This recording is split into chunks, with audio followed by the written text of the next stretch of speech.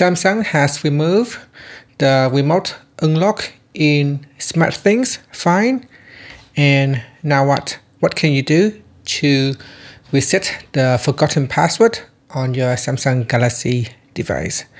Now, one option one option is to go in here and erase your data. Uh, once you log into SmartThings Find and erase data, that will uh, perform a factory reset on your device. Otherwise, on your phone, you can use the hardware key to perform a factory data reset. Now, performing a factory data reset will cause your device to lose all the user's data. So you will lose all your data on the device. So to perform a factory data reset, you can press uh, on the side buttons here using the uh, volume keys and the sub button. You can perform a hard reset or a factory data reset on your device. Okay now I'm going to force the phone to uh, shut down. So press on the side button and the volume down key. Press and hold.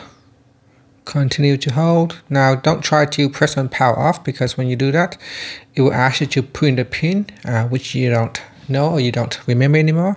So we're going to hold down the two buttons and force the phone to shut down. Once you see a black screen, let go of the buttons immediately. And here I'm going to plug in the charger cable to the device. So plug in the charging cable and wait until you see the charging icon appear. So uh, make sure the cable is also plugged into a Windows computer or a um, Mac computer. So now once you plug in the cable, is try to boot up the phone. So I'm going to again try to switch it off. I'm going to force it to turn off.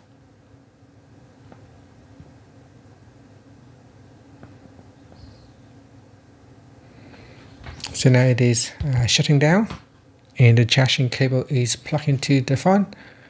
Next, what we're going to do is press on the side button and the volume up key. Press on both key uh, at the same time. So press and hold on both keys. Press and hold.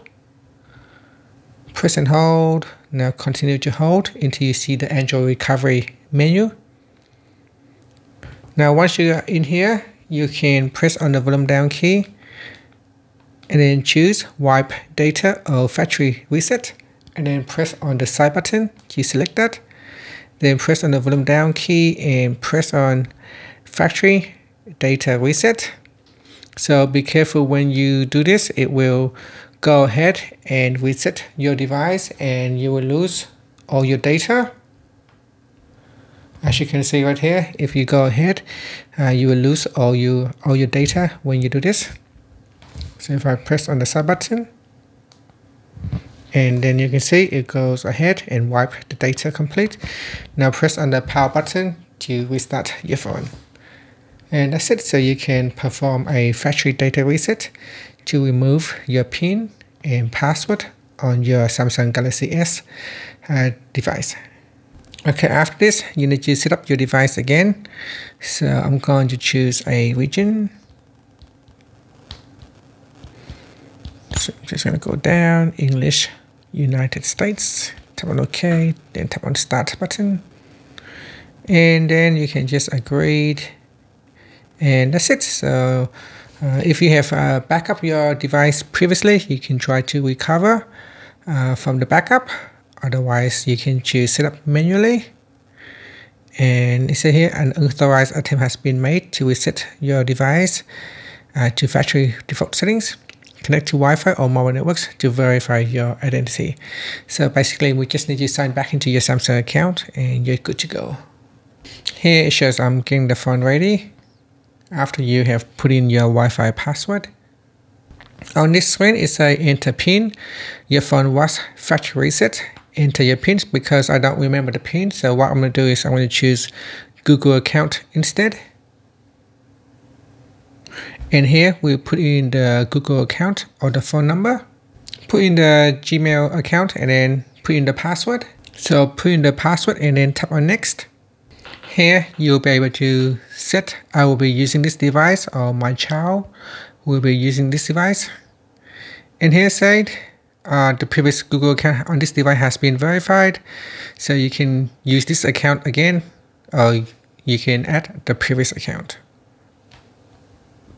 Okay, from here on, it should be straightforward. You can choose to restore your data from another device, or you can choose don't uh, restore. I'm going to restore my data data from my previous uh, backup. Then I tap on restored. And so if you have regularly backup your data, you should have no problem. You can restore your password, but at least now you can uh, get back onto your phone. So again, this time, uh, set a pin or a password and make sure you remember it. So I'm going to set a pin. My pin will be one, two, three, four. And I'm going to use it anyway. One, two, three, four, and then tap on OK.